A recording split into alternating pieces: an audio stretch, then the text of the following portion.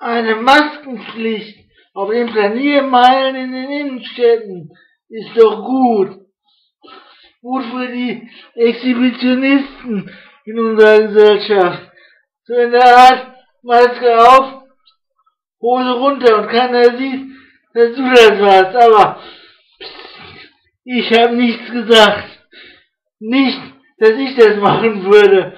Also, never God, buddy, it gives them good.